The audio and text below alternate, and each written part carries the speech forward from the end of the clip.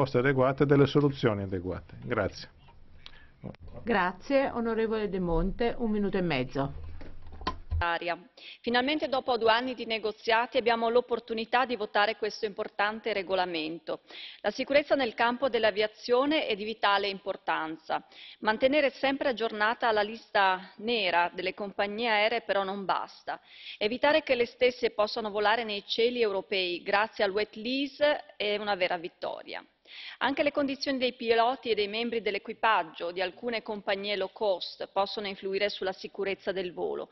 Per questo motivo ritengo importante che tali aspetti vengano presi in considerazione. Infine mi compiaccio del nuovo ruolo dell'Agenzia e della possibilità della stessa di aprire uffici regionali in paesi terzi per fornire sostegno alle attività di certificazione e per lavorare su aspetti tecnici.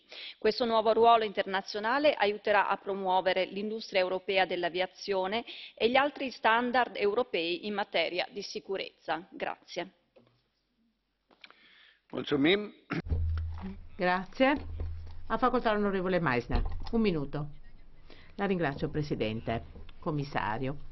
Cari colleghi, penso che domani quando voteremo dovremo essere tutti a favore e daremo all'Europa un nuovo regolamento per la sicurezza in Europa dell'aviazione civile.